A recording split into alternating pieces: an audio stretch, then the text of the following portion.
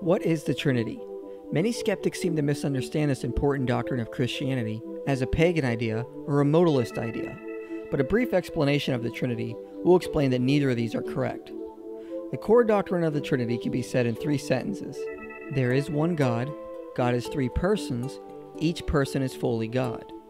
This differs from a modalist understanding, which would say there is only one God who reveals himself in three different forms or persons, whereas the Trinity says there are three coexisting eternal persons who exist as one God. The Trinity also differs from a pagan grouping of gods who say there are three different gods who are simply one in purpose but are fully separate, whereas the persons of the Trinity are not different gods but one God. Most of those who misunderstand the Trinity tend to classify the Trinity as one of these, but they are both incorrect. The Trinity is not one God revealing himself as different forms, and the Trinity is not three different gods.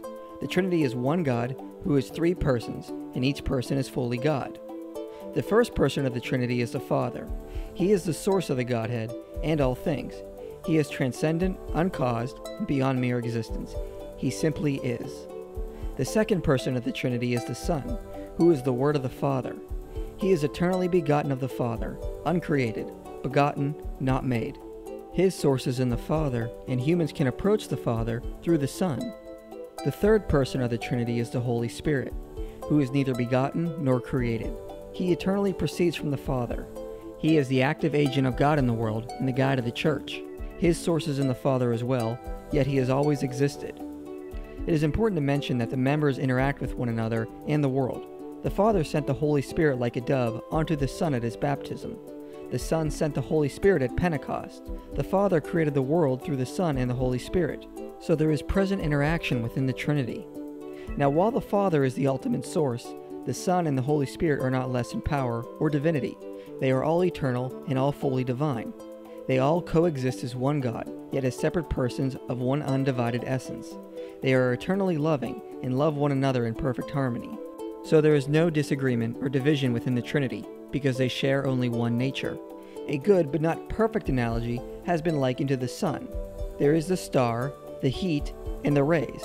As long as the star has existed, it has been generating rays, and heat has proceeded from it. Likewise, as long as the Father has existed, he has been pouring out his being into the Son, and the Spirit has been proceeding from him. So it is important to understand what the Trinity is. There are three persons of one God who coexist eternally as one God. Each is fully God and fully divine. The Holy Spirit and the Son submit to the Father's authority because there cannot be two masters.